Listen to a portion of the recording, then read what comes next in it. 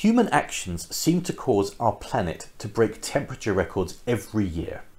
We need to understand what is meant by climate change.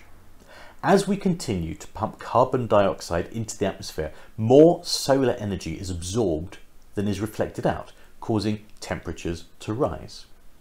The UN definition of climate change says that it is caused directly or indirectly by human activity and is in addition to natural climate variability. In other words, we are far beyond the point where anyone can blame a statistical anomaly or any natural phenomenon. Human beings are squarely to blame. Note the difference between climate and weather. Climate is long term, weather is short term. If you like, climate is what you expect, weather is what you get.